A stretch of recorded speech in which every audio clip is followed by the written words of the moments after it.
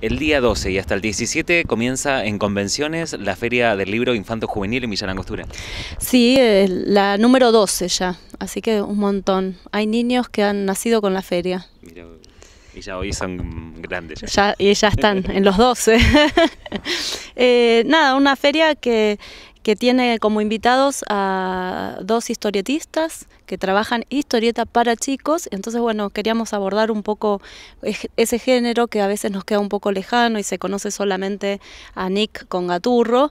Y la verdad que hay un montón de propuestas de historieta para chicos súper interesantes.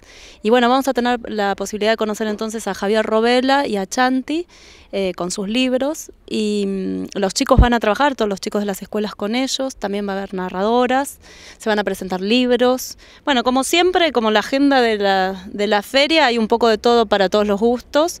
Eh, va a haber música también para chicos, va a haber un espectáculo de clown, eh, que está bueno. Pudimos lograr este año también que venga, eh, que Nación a, a, través de Chocolate Cultura nos aporte un espectáculo, que eso entonces va a ser gratuito. Y después, bueno, va a haber narradoras de Neuquén que van a venir a narrar para adultos.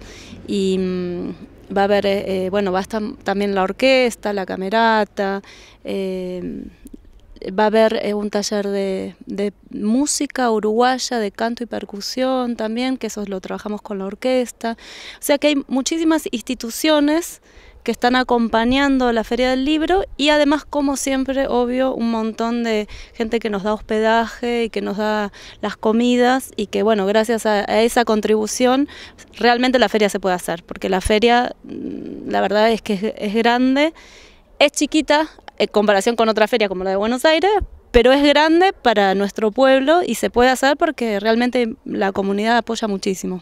Van a poder eh, cambiar el nombre próximamente porque en realidad son tantas las actividades culturales que podría ser más hacer una feria de libro, un encuentro cultural.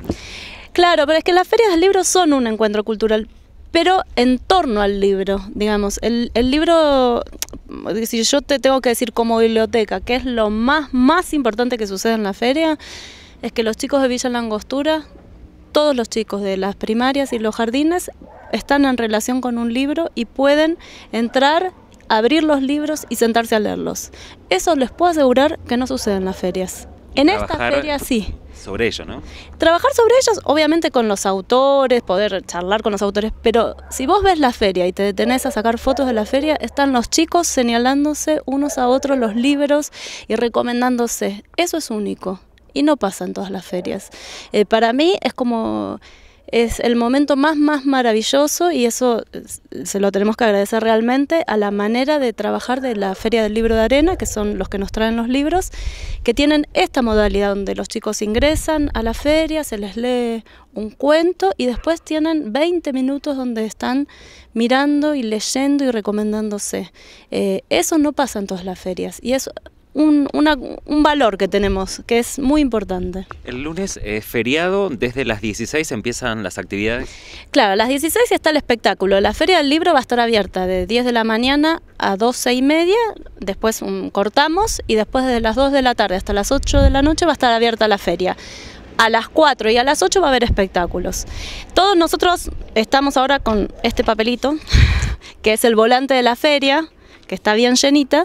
Y, y, esto, bueno, lo estamos repartiendo en las escuelas para que cada chico lleve un volante a su casa y entonces todos los papás sepan a qué, qué les gusta, en qué quieren participar, más allá de la feria de libros, digo, en los espectáculos, en los talleres. ¿Está abierto eh, también para la comunidad? Todo el tiempo está abierto a la comunidad. Obviamente que de 9 de la mañana a 6 de la tarde están las escuelas, entonces si uno tiene ganas de ir a mirar más tranquilo los libros, conviene después de las 6. Pero si no, también pueden pasar. Si están leyendo el cuento, en ese momento les pedimos que esperen un ratito para no molestar e interrumpir ese momento, nada más.